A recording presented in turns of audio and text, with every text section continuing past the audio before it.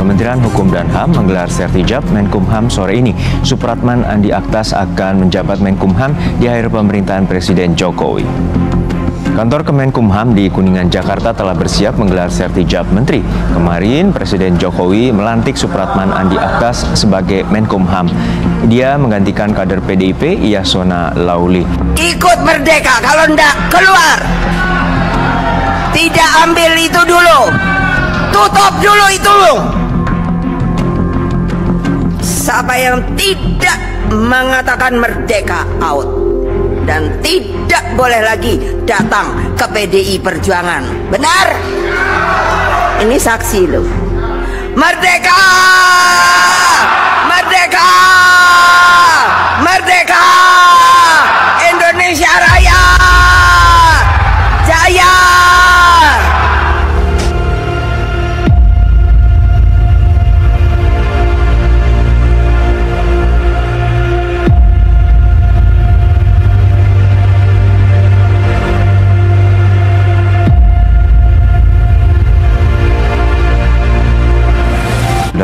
Kementerian Hukum dan HAM menggelar sertijab Menkumham sore ini. Supratman Andi Aktas akan menjabat Menkumham di akhir pemerintahan Presiden Jokowi. Kantor Kemenkumham di Kuningan, Jakarta telah bersiap menggelar sertijab menteri. Kemarin Presiden Jokowi melantik Supratman Andi Aktas sebagai Menkumham. Dia menggantikan kader PDIP Yasona Lauli. Supratman adalah mantan ketua balik DPR dari fraksi Partai Gerindra.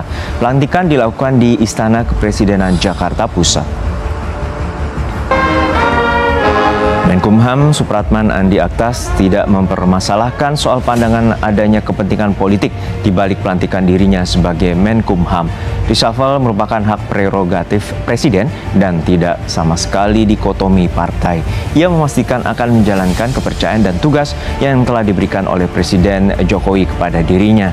Dia menggantikan Yasona Lauli yang merupakan kader PDI Perjuangan dari awal nggak masuk akal. Hmm. Pemilunya sendiri nggak masuk akal kok. Oke. Jadi kita dipaksa untuk komentari sesuatu yang di awal udah busuk. Hmm. Coba lihat Grace tadi itu. Grace kesulitan untuk menemukan istilah lain selain Sinkronisasi. tra- sinkronisasi. Jadi terlihat ada kegugupan untuk mengatakan apa yang terjadi. Jadi bahasa yang aman sekali itu. Lain waktu Grace ketua PSI, dia tajam menemukan kalimat. Jadi Grace mengedit sendiri kalimatnya supaya jadi bukan netral, justru jadi mediocre itu kalimat itu kan. Seolah-olah tidak ada tidak ada beban, tidak ada konten dari peristiwa itu. Ya seperti biasa transisi mengefektifkan apa istilahnya tadi itu sisa kabinet itu. Tapi sebetulnya buat saya ini bukan lepas dari saya bosan komentar ini, tapi ini bukan persaingan antara Jokowi dan Megawati, maka tertendanglah PDI. PDI. Itu udah biasa itu pasti tertendang. Sekarang kita mesti lihat paradigma baru. Persaingan antara Jokowi dan Prabowo. Saling taruh orang di situ. Kan itu intinya kan. Jadi Jokowi menyusupkan orangnya, Prabowo menyusupkan orangnya. Siapa yang disusupkan nih? Ya itu yang diganti-ganti itulah. Oke. Jadi itu sebetulnya penanda bahwa dua-duanya cemas. Jokowi cemas, dia tidak punya orang ketika lengser. Prabowo cemas, kalau tidak dipasang sekarang, nanti orang Jokowi yang berkuasa. Jadi kita mesti pindah eh, cara melihatnya tuh. Bukan konflik lagi antara Jokowi dan Megawati yang memang Sudah terjadi. sudah terjadi. Jadi konflik baru, konflik psikologi antara Prabowo dan Jokowi. That's all.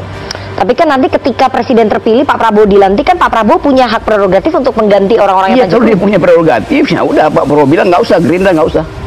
Kan logikanya begitu kan. Tapi Prabowo masih memaksakan taruh Gerindra di situ. Padahal itu prerogatif dia, toh dia bisa copot lagi. Jadi dia bersiap-siap untuk mengintip eh, lubang persembunyian Jokowi. Demikian juga Pak Jokowi. Itu aja. itu tadi Anda dikatakan ini modus operandinya Bang Rocky aja membenturkan antara Pak Jokowi dengan Pak Prabowo. Tapi dari awal modus operandi saya begitu. Bentur-benturin kan. Nggak apa yang membuat Anda kemudian tadi berkesimpulan karena uh, banyak dek, orang-orang dek. dekatnya Coba saya ganti keterangannya itu supaya terlihat akademis. Ya. Oke. Reshuffle itu artinya ganti pemain karena nggak bisa bikin gol, Oke. Dikocok ulang tuh. Sekarang coba kita lihat demi apa sebetulnya. Jadi barusan saya baca Kompas itu. Kompas barusan wawancarai dan mungkin jadi sampel nanti. Jakarta Timur itu kemiskinannya betul-betul parah sekarang. Bahkan keluarga kecil itu dia memilih makan di warteg daripada masak sendiri karena kalau beli itu mahal. Lebih banyak orang yang datang ke puskesmas karena kecemasan. GERD-nya naik tuh. Ini Jakarta Timur. Mestinya itu yang di-attack oleh kabinet. Kan itu realnya kan. Maka mestinya reshuffle itu untuk mengatasi masalah ekonomi. Sekarang yang diganti mana eh, ekonominya? Kan semua orang itu yang berbau politis kan. Jadi dari segi itu, reshuffle memang tidak dimaksudkan untuk attack the reason issues itu. Itu dasarnya. Kalau bukan itu alasannya, maka menurut saya itu adalah upaya untuk saling taruh bantalan. Cuman itu keterangannya, nggak ada keterangan lain. Oke. Ya itu yang disebut sebagai apa tadi eh, modus operandi. Ya modus operandi itu Jokowi begitu emang. Modus operandi dari Prabowo juga sama kan. Kan ini du- dua dua hamster yang lompat-lompatan di kota yang kecil kan. Lalu orang tonton itu masih hamster. Oke. Satu waktu jadi serigala. Ya. Gini ya, eh, kalau Grace merasa bahwa itu kan teks yang lama, ngapain diputar ulang? Silakan protes, kenapa setiap 17 Agustus teks proklamasi itu itu yang dibaca terus? Kan mau mengingatkan substance dari proklamasi, mau mengingatkan substance dari psikologi Jokowi. Jadi sebu- semuanya itu menyangkut Hasto punya kepentingan untuk mengingatkan bahwa dari awal sebetulnya origin dari Jokowi seperti itu. tuh. Lalu now it can be told. Nah kira-kira begitu maksudnya kan. Sekarang saya terangkan itu. Tentu Hasto tahu itu bahwa dari awal bahwa itu di forumnya PDIP. PDIP. Iya. Tapi untuk mengingatkan anak-anak muda mahasiswa yang pada waktu itu mungkin masih SMA belum tahu watak Jokowi sekarang diingatkan oleh PDIP. Begini loh wataknya Pak Jokowi itu dia bisa menggigit. Apa aja dia bisa gigit? Kecuali giginya sendiri dia nggak bisa gigit jadi kita mau lihat sebetulnya isi dari rekaman itu memperlihatkan karakter dasar dari kepemimpinan Pak Jokowi. Dan itu yang dia lakukan di Mahkamah Konstitusi dia lakukan di MK sorry di, di KPK dia lakukan ke Golkar dia lakukan ke PDIP kan itu yang terjadi kan jadi itu sekedar referensi untuk mengingatkan bahwa inilah genealogi politik dari Jokowi yaitu bisa mengacak-acak apa aja whistleblower itu tapi ya yang terjadi adalah tornado Tornado apa gimana? Iya diputer-puter tuh keangkat eh, satu satu akar beringin itu keangkat oleh tornado. Bantengnya itu mau digorok, untung bantengnya mampu untuk lari duluan. Kalau kita lihat misalnya riset tentang psikologi Pak Jokowi itu baru ditulis oleh siapa itu orang Australia yang bahkan tadinya membela dia. Dia terangkan bahwa memang itu wataknya. Jadi ini cuma membenarkan akhirnya fakta ini kendati dia udah pase, dia justru relevan ketika riset tentang psikologi Pak Jokowi wataknya itu dikeluarkan oleh kalangan akademisi itu. Oh memang itu wataknya. Jadi dia menyembunyikan sesuatu dengan kalimat-kalimat itu, tapi itu yang dia praktekkan kan. Jadi berkebalikan begitu. Ya, bukan sekedar berkebalikan, dimaksudkan untuk menyembunyikan maksud, tetapi dengan akibat yang, ya maksudnya ya saya nanti saya whistleblower kan. Tetapi dia lakukan sudah. Itu dasarnya kan.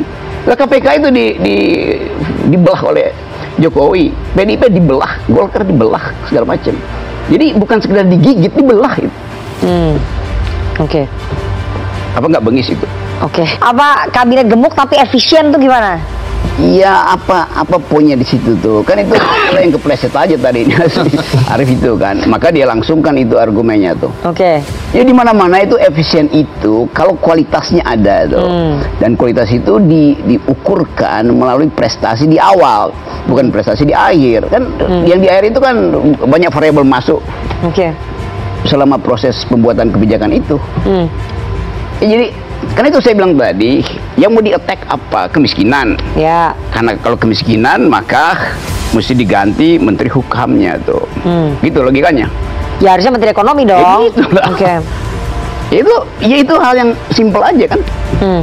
ada lag di dalam komunikasi ya oke diganti eh, apa namanya juru bicaranya tuh tapi dibikinin portofolio baru tuh khusus untuk si juru bicara tuh. Ya. Ya udah lihat aja nanti kan. Hmm. Artinya kita mau tunggu dalam satu minggu ini komunikasinya jadi bagus apa enggak tuh? Oke, dengan pembentukan itu ya. Yes. Oke. Masalahnya kontennya apa yang mau dikomunikasikan? Oh. Wong semuanya buruk. Oke.